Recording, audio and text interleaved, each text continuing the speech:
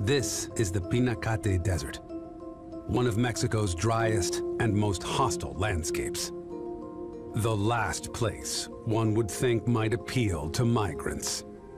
Yet hidden deep in the bowels of this volcanic cave, protected from the searing heat above, is a refuge for more than 300,000 female, lesser long-nosed bats.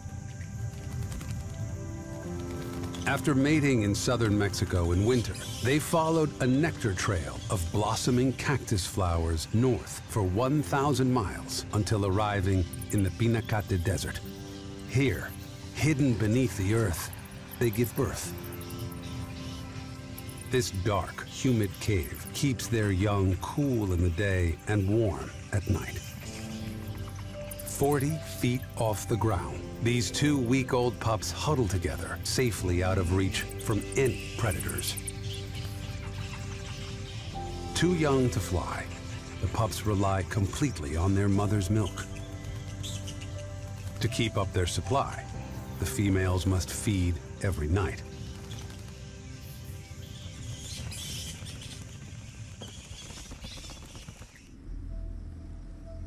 Nearly 50 miles from the cave, they find what they've been looking for. The night bloom of a large saguaro cactus. Each sweet-smelling blossom opens its milk-white petals for only one night of the year.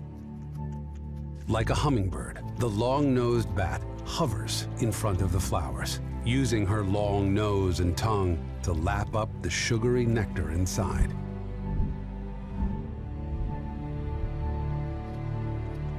Each female must visit up to 100 flowers every night to produce enough milk for her pup. As she feeds, she pollinates. If this mutually beneficial relationship breaks, neither could survive. The bats will remain here until late summer when their young will wean and the wilting cactus flowers trigger their return south.